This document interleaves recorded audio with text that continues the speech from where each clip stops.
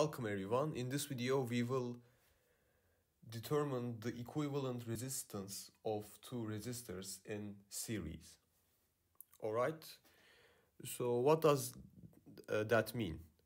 Well, it means that we have a resistor like this and a resistor like this. And let me call the first one R1, the second one R2.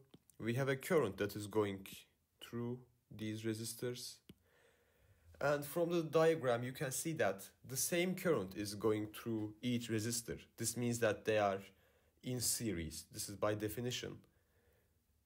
Uh, so how can we determine the equivalent resistance of these two resist resistors? In other words, if we were to replace these two resistors with a resistor, what should uh, the resistance of our resistor be?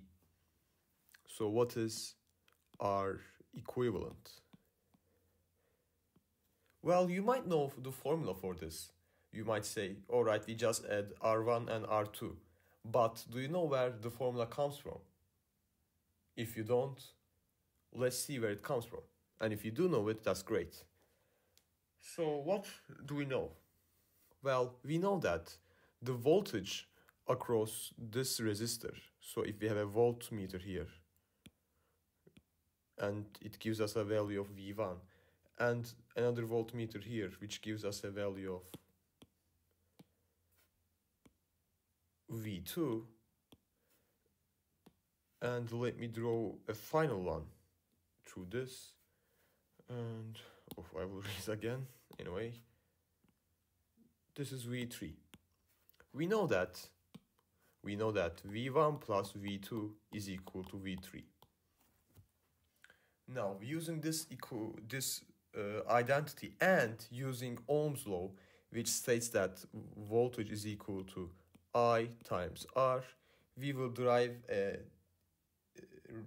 relationship. Well, we will derive an equation for R equivalent in terms of R1 and R2. So, what do we have?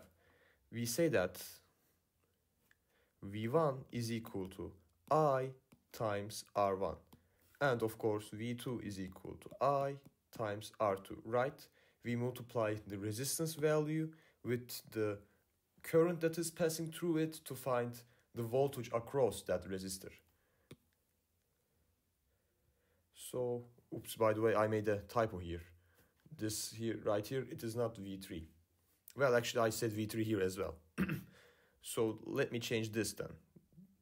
Well, actually, you know what? I don't want to use unnecessary subscripts. So let's just call this one V and and this one V as well.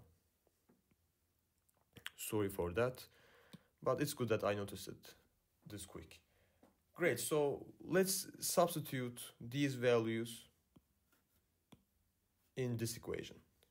And if we do that, we get that Instead of V1, I am writing I R1 plus, instead of V2, I am writing I plus R2 equals, instead of V, we are writing I times R. And of course, this R right here is the equivalent resistance. Maybe we should specify it here as well. So you see that if we factor the left side, we get this and now we divide by i so that we have r, r equ equivalent r equivalent is equal to r1 plus r2 so r eq is equal to r1 plus r2 notice that r1 and r2 are in series so if they were to be in parallel we would not be able to use this formula and there is another formula for that. I will be deriving that formula as well in another video.